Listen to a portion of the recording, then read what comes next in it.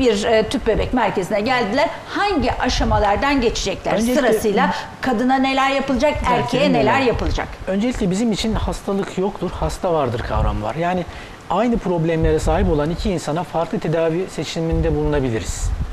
Öncelikle hastayı eee, bir muayene ediyoruz. Hormon tetiklerini istiyoruz. Yumurta rezervini değerlendiriyoruz. Bunları değerlendirdikten sonra tedaviye eşinin de erkeğin de sperm testlerini değerlendiriyoruz. Spermi değerlendiriyoruz. Orada bir problem var mı? Önce sorunun adını koyuyoruz.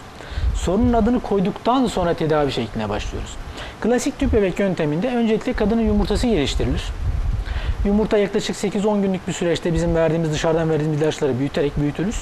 O yumurtalar olgun yumurta olduktan sonra biz e, ultrason altında özel iğnelerimizle bu yumurtaları annenin karnından alırız.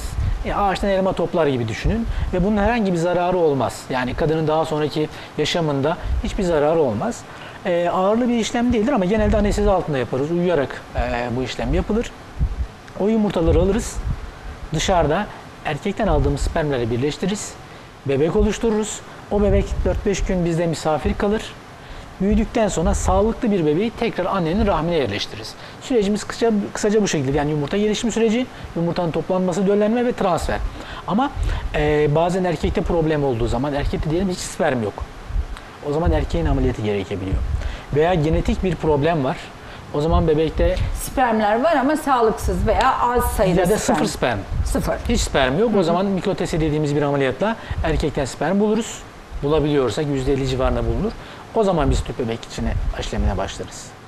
Sağlıklı bebeği seçmek burada önemli. Sağlıklı bebeği seçip annenin rahmine yerleştirdiğimiz zaman genelde iyi sonuçlar elde ediyoruz. Ee, bir de başarısız olma oranı nedir? Ne durumlarda başarısız olunur? Bir de şunu soruyor kişiler kaç kere tüp bebek denemesi yapabilirim? Çünkü teknoloji gelişti, bilim, tıp gelişti. Şimdi bu sayılarda bir olumlu bize yüz güldürücü sonuçlar var. Bu sonuçları sizden öğrenelim. Şimdi başarısız e, tüp bebeklerinin bizim için 3 tane denemeden eğer gebelik elde edilemiyorsa bu sefer daha ileri araştırmalara geçmek gerekiyor. Ama tüp bebek başarısında en önemli faktör kadının yaşı ve yumurta sayısı. Kadın yaşı 30'un altında olduğunda bir denemede başarı şansı %60-%70'lere kadar çıkabiliyor. Ama 40 yaşından sonra bu oran %20'lerde, 42'den 43'ten sonra %5'in altına düşüyor. 45'ten sonra tüp bebek tedavisi yapılabilir mi? Ee, yapılabilir ama başarı şansının çok çok düşük olduğu bilinmeli. Ee, tüp bebek tedavisinin ikinci başarıyı belirleyen şey iyi bir rahme, iyi bir yumurta, iyi bir bebeği vermek.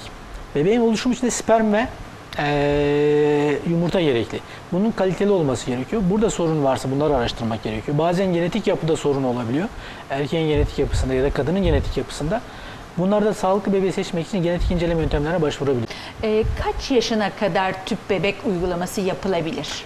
Yani demin de bahsettim. Yani 45 yaş sınır olarak kabul edilebilir ama e, 45 yaşından çok ihtimalin çok fazla olmadığını bilerek düşünmek gerekiyor. Ben çok 45'ten sonra çok çok düşünmüyorum. Azalıyor. Çok çok azalıyor. Yani gebelik şansı ama olabilir mi? Olabilir. Çünkü yumurta var olduğu sürece gebelik şansı vardır. Ama gebelik şansı e, çok azdır.